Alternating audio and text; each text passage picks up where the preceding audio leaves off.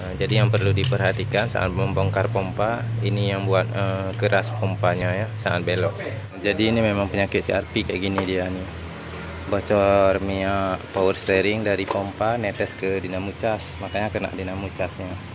Ini yang digendong di towing semalam nih, Ri. CRP 2,4. Oke, tinggal kita ganti seal pompa. Nah, ini udah bersih lemak semua minyak power steeringnya. Ini netes ini. Ini memang penyakit uh, eh, CRP ini. Nah, ini minyak power steeringnya. Netes ke dinamo casnya. Dinamo cas letak di sini ya. Ini udah kotor semua.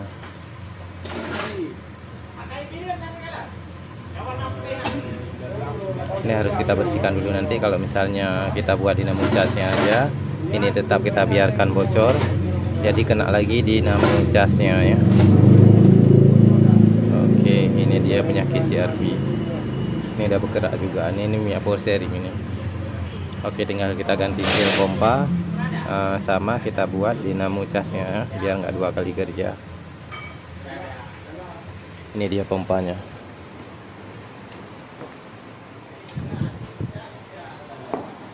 ini cuci dulu ya cuci dulu. Cuci dulu baru bongkar. Cuci ini dulu baru bongkar. Dan netesnya dari sini minyaknya nah, dari seal ini.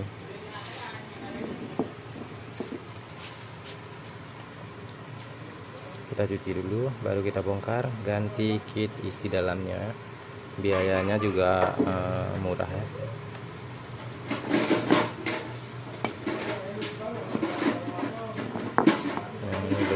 ngalir minyaknya minyak power steering.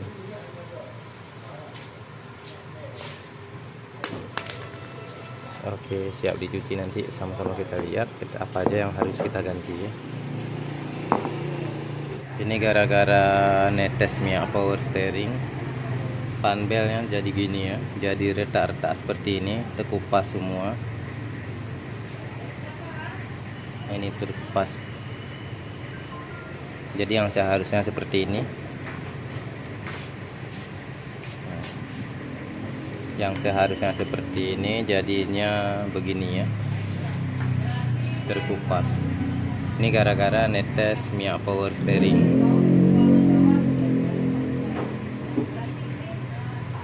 Oke tali kipas juga harus diganti ini. Kita ambil yang aslinya juga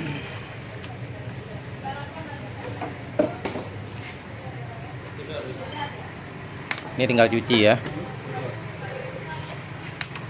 Ini tinggal cuci dulu ya.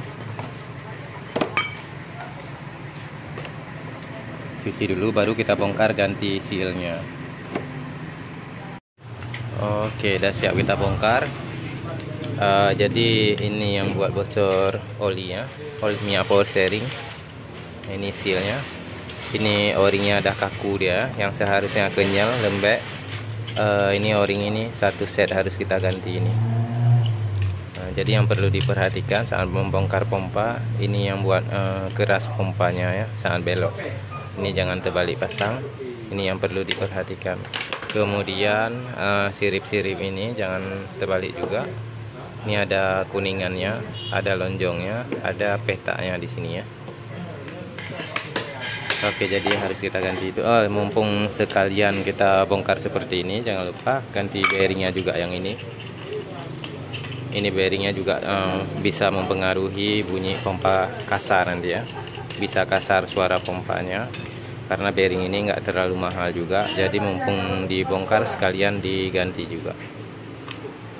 Oke ini tinggal dicuci sedikit lagi. Nanti tinggal kita pemasangannya ya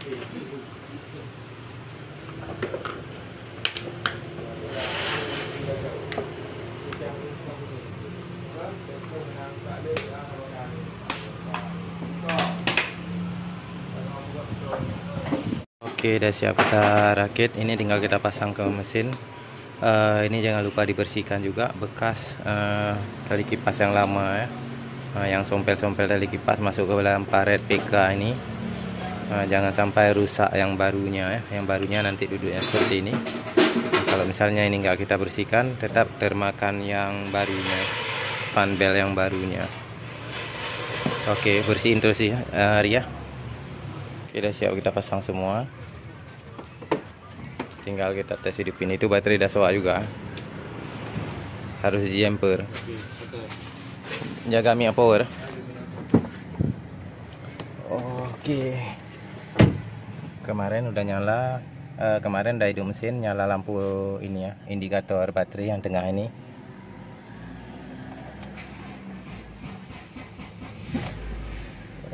oke.